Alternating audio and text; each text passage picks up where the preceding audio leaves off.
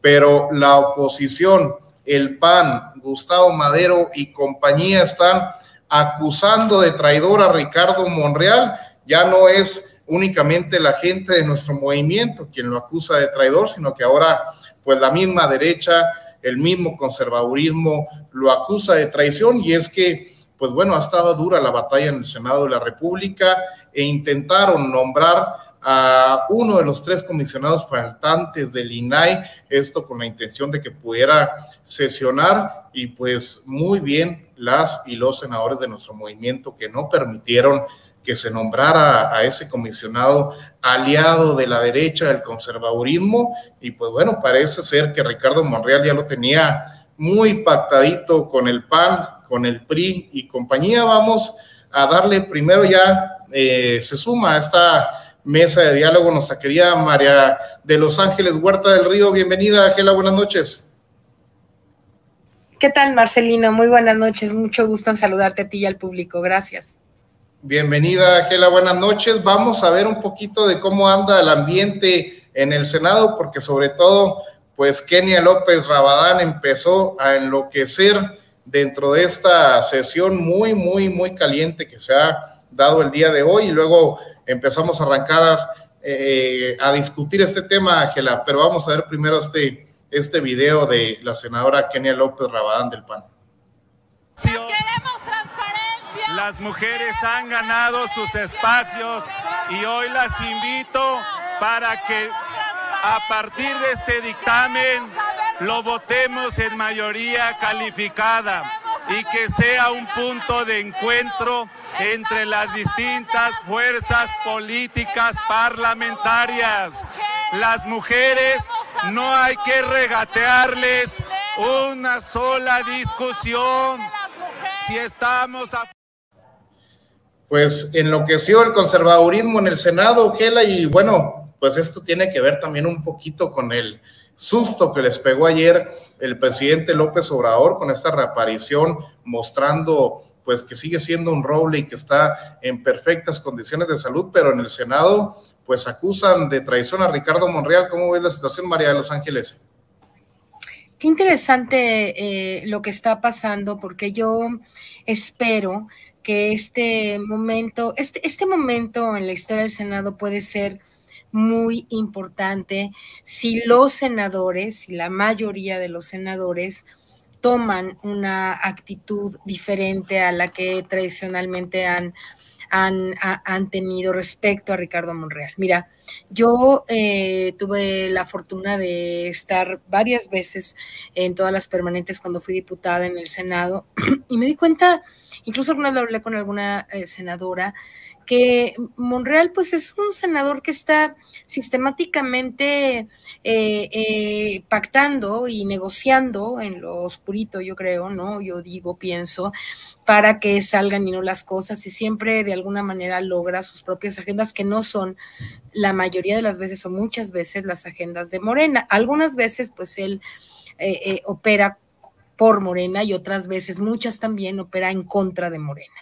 Y yo le decía a la senadora, ¿por qué no lo quitan de coordinador? Porque el hecho de que esté coordinador le da un empoderamiento y le da una fuerza y le da la posibilidad de utilizar el presupuesto del Senado, etcétera, que no tendría si no fuera coordinador. Ahora tendría otras cosas, porque él tal vez ya operaría abiertamente en contra de Morena. Él es un abogado eh, muy, eh, parece que, que, sabe muy bien los eh, dimes y diretes de, de, ese poder tan corrupto, ¿no? El Senado, entre otras cosas, elige a los, a los propios ministros, así que de muchas maneras, pues él tiene ahí una fuerza, ¿no? Y una posibilidad, y siendo coordinador mucho más.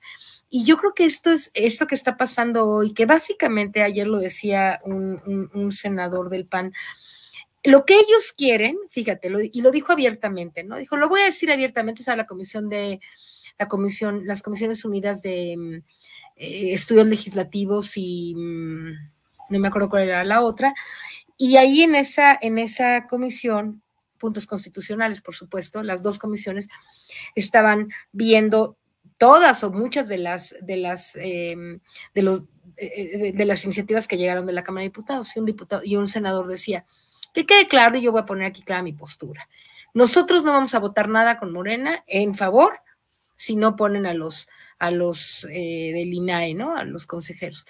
Y esa es nuestra postura y ahí nos vamos a mantener. Así que se pone a los consejeros o no vamos a, a votar nada. Ahora, es un nivel de negociación que Morena, ¿no? En, en, el que se pone a Morena en una dificultad grande, porque por una parte, la ley minera, por ejemplo, es muy importante, ¿no? Algunas iniciativas que se mandaron desde la Cámara de Diputados son muy importantes y es necesario que se aprueben en el Senado. Y entonces los, la oposición está condicionando.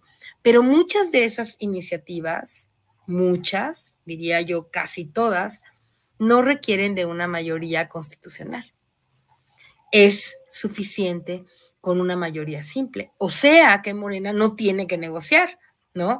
Morena y sus aliados. El problema es que el PT y el presidente de la Comisión de Puntos Constitucionales, que es de Morena, un Manuel Espino creo que se llama, no está, e, están, están queriendo patear el bote de la ley minera y son aliados, es PT y es Morena, eh, un, senador de Morena. Entonces, no sé qué tanta mayoría pueden tener si se fueran dos o tres senadores y el mismo Monreal, porque se necesitan 67 votos para tener la mayoría y no sé cuántos tienen como de, como de sobra, no son muchos, o sea, si hay más de dos o tres senadores, creo, no se podría pasar por mayoría simple. En fin, en el Senado están, están padeciendo. Pero ¿por qué han dejado a Monreal todo este tiempo operar? Lo siguen dejando de coordinador.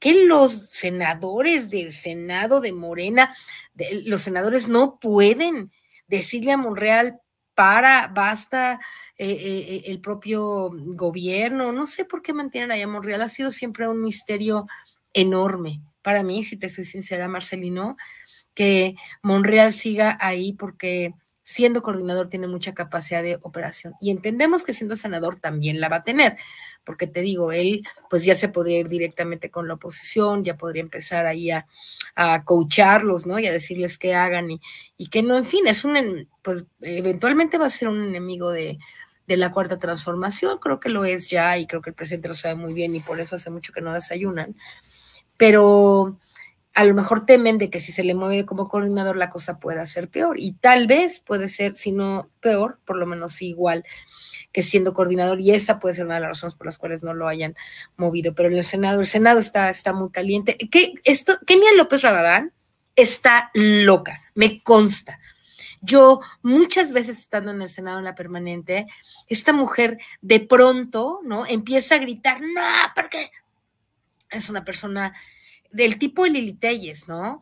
Que están, yo creo que están fuera de sus casillas, enloquecidas de odio, eh, dicen unas cosas espantosas del presidente, lo insultan sistemáticamente, gritan, vociferan, se pelean. Yo no creo que sean personas normales, que estén adentro de un nivel de cordura eh, eh, normal, ¿no? Una persona puede enojarse, puede decir cosas. Yo soy una persona muy apasionada y y pues cuando hablo fuerte, pues hablo fuerte, ¿no? Pero tengo límites y tengo perfectamente claro en qué momentos y en qué no, y cuando estás en un recinto legislativo y cuando no, no, no puede ser que la gente pierda por completo, ¿no? La dimensión de, de, dónde está y cómo está. Se llama limítrofe, se llama personalidad limítrofe.